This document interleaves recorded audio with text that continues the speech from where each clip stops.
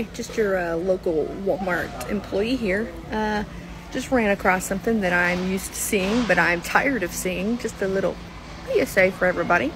Stop fucking doing this. Please, for the love of God, stop doing this. Abandoning your fucking car in the middle of the store. Why? This stuff isn't even cold anymore. It's not even cold. Like this cheese, it's all bad. All of this is bad now. This was frozen. These are mushy.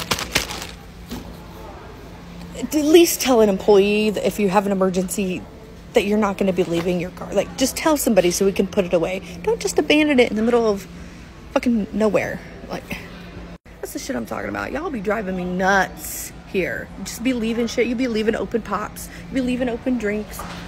You be leaving carts with frozen and shit, putting shit back on the shelves that are cold and frozen. Like, people, I need y'all for real get it together because I am not your slave. I'm not here to do this. I'm here to work and not put away the shit that you should have not left out. Stop doing it.